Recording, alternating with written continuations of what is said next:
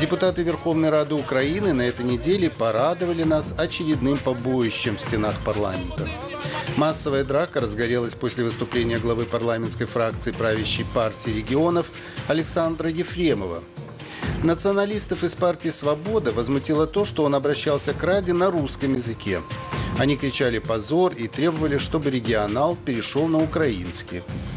В ответ Ефремов назвал своих оппонентов неофашистами. После того, как оппоненты в прямом смысле не смогли найти общий язык, они бодро перешли на язык жестов.